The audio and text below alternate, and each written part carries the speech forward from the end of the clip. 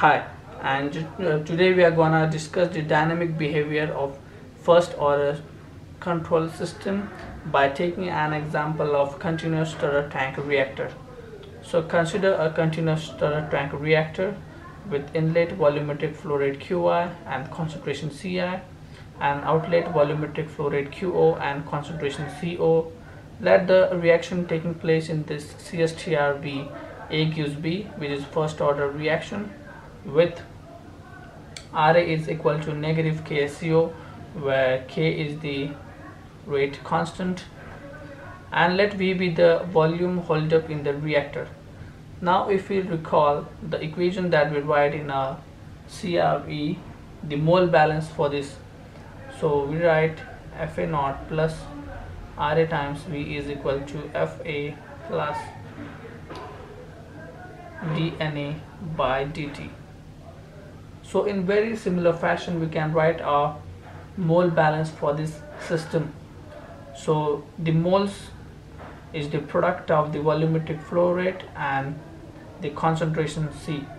So we can write this as Qi times Ci plus Ra times V is equal to Qo times Co plus V times dCO by dt now the rate of generation of the reactant is always a negative number. So Qi times Ci negative K times Co times V as it is is equal to Qo times Co plus V times dCO by dt. Now what we are gonna do is we will bring all these equations to one side and the change in concentration with respect to time on one side. So Qi times Ci negative K times Co times V negative Qo times Co is equal to V times the change in outlet concentration with respect to the change in time. Let's call this the equation number one. Now at steady state the change in uh, concentration with respect to the change in time will be 0 so qi times ci negative kco times v negative qoco is equal to 0 let's call this equation number 2 now here's the time to introduce our deviation variable. If we subtract if we subtract equation 2 from equation 1 so we get so at steady state let this coefficient be s. This will be s. This will be s. It's only a notation that we use. So qi times ci minus cis negative kv times co minus cos negative QO times CO minus COS which will be equal to V times d by dt of CO minus COS. So what we'll do is we'll compress this equation by defining our deviation variables. So let Ci minus Ci as is equal to Ci bar and CO minus COS which will be equal to CO bar. So now what we can do is we'll put this equation in this equation. So QI times CI bar negative KV times CO bar negative QO times CO bar which will be equal to V times d by dt of CO bar. And now what we are gonna do is we are gonna take the Laplace transform on both sides of this equation.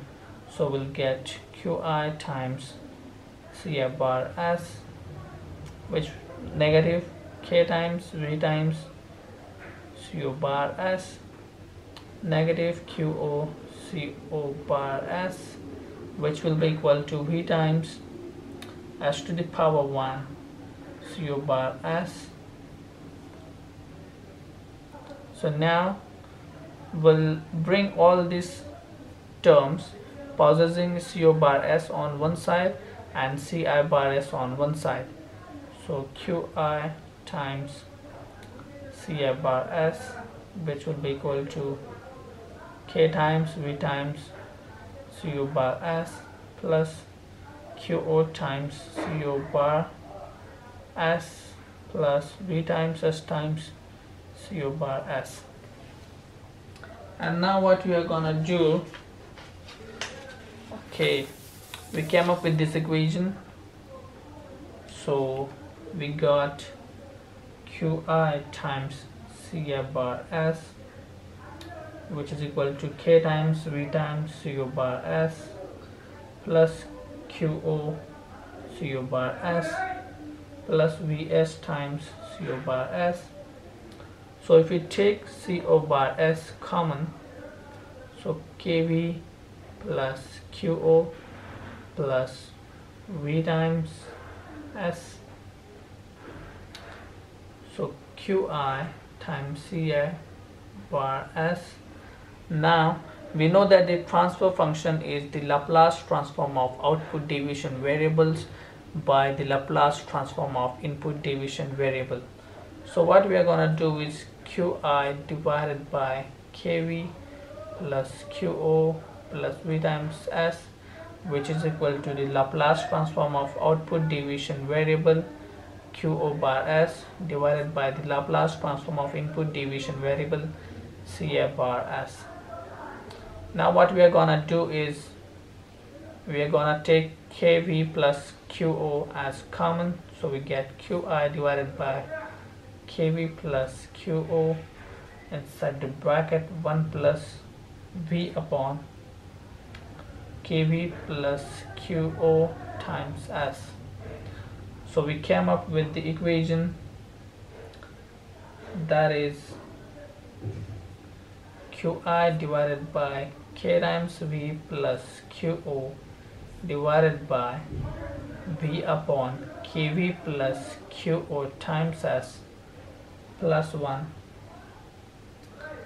and from this equation if we compare this equation with our general first order transfer function that is we know gs is equal to 1 upon tau times s plus 1 so if we compare this equation with this equation we can write that tau is equal to v upon kv plus qo